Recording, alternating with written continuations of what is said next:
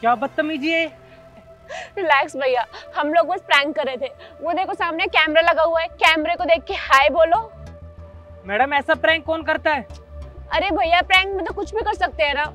और अब बोल भी दो ना हाय और वैसे भी ये वीडियो अपलोड होने के बाद ना आपको लाखों लोग देखेंगे।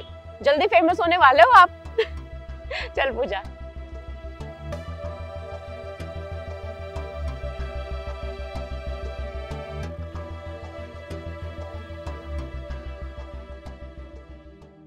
यार इसकी वो एक्सप्रेशन नहीं आई जो चाहिए थे। किसी और को देखना पड़ेगा। हाँ और इस बार ना फोकस बिल्कुल फेस पे रखना ठीक है? ठीक है। और कोई गलती मत करना।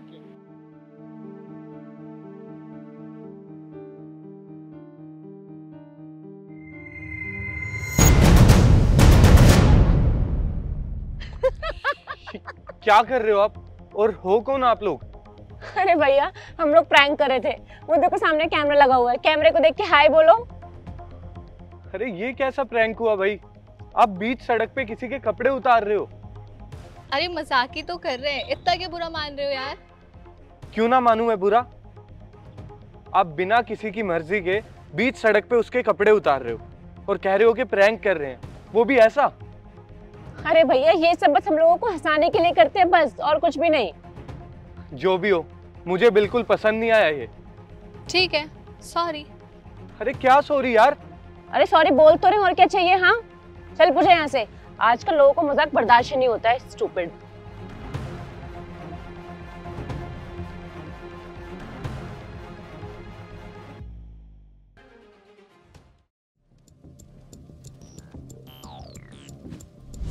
ये क्या बदतमीजी है? पागल वागल हो क्या?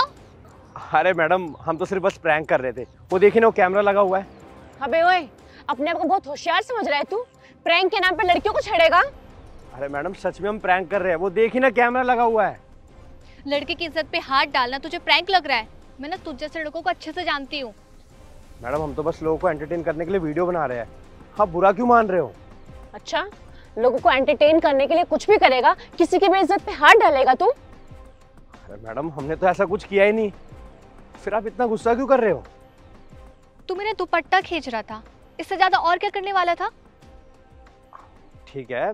अगर आपको बुरा लगा हो तो I am so sorry sorry तुझे ना मैं पुलिस के हवाले करूँगी तब पता चलेगा तूने मेरे साथ करा क्या है। और शायद तुझे पता नहीं है लड़की को छेड़ना कितना बड़ा जुर्म है। मैडम मुझे तो पता है लेकिन शायद आपको नहीं पता कि लड़कों को छेड़ना भी एक बहुत बड़ा जुर्म है। और लड़कों को छेड़ता कौन है? कौन छेड़ता है?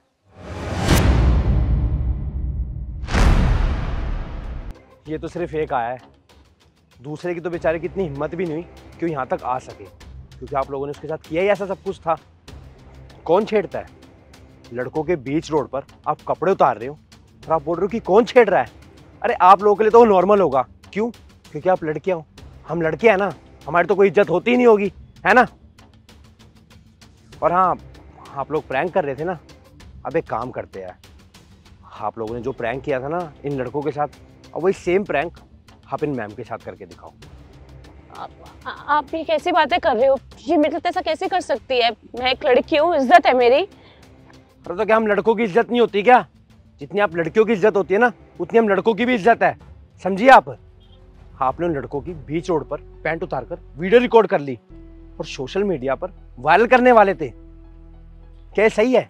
ये कौन सा मज़ाक चल रहा है?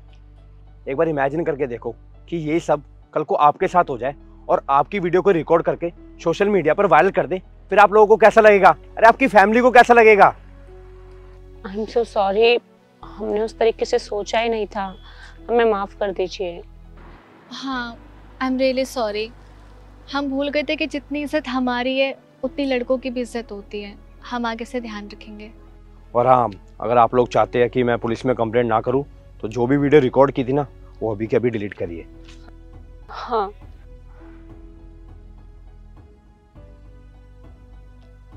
हो गई।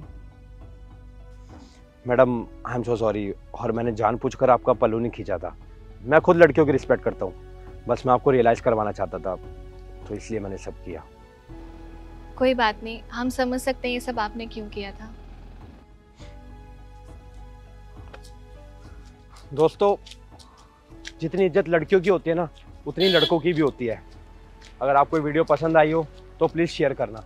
और कमेंट करके ये ज़रूर बताना कि मैंने सही कहा है गलत। Thank you